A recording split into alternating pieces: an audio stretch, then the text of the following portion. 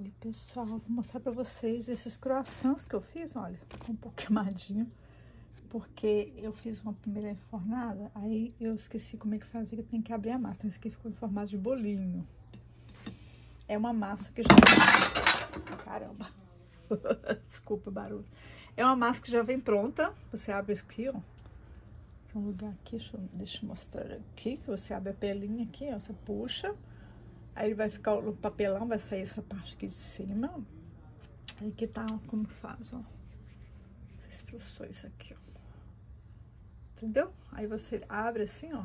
Força com a mão, ele vai abrir. E você tira. Você pode tirar toda ou separar com a colher. Entendeu? Aí você vai colocar no forno pré-aquecido. Ok? Tá aqui, ó. A caixa aqui, ó que aconteceu? Eu. Hum? Aqui a caixa que eu tirei, né? A receita. É da marca Crescentes. Pillsburg. Crescentes original. Só que a expectativa é coisa, olha. a realidade é essa.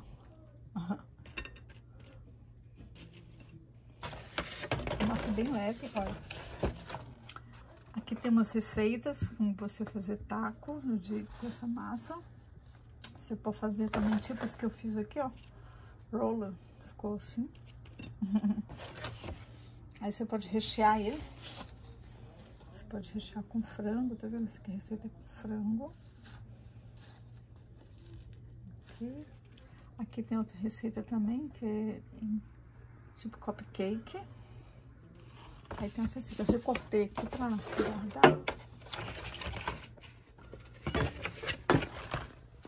Ah, eu não vou levar isso aqui lá pro Thanksgiving do amigo do Jorge, porque a esposa dele trabalha na padaria. Esse já é filme. Aqui tem... a minha vou ligar pra ela. Que eu tô fazendo vídeo. É...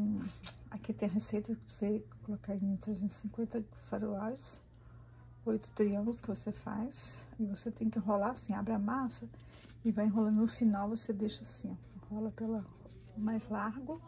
E de 9 a 12 minutos. Eu coloquei 9 minutos, ou que fique golden brown. Pra ficar marrom, não tanto, tá, gente? Olha. Esse aqui é primeiro que eu fiz, ó. Eu esqueci como é que tinha que abrir a massa e tá, ficou assim. ai, ai, ficou diferente.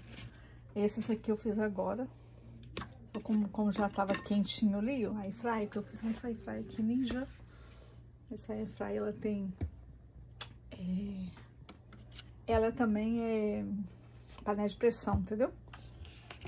Aí você tem uma outra tampa que você põe aqui em cima e vira panela de pressão. E pode fazer arroz nela.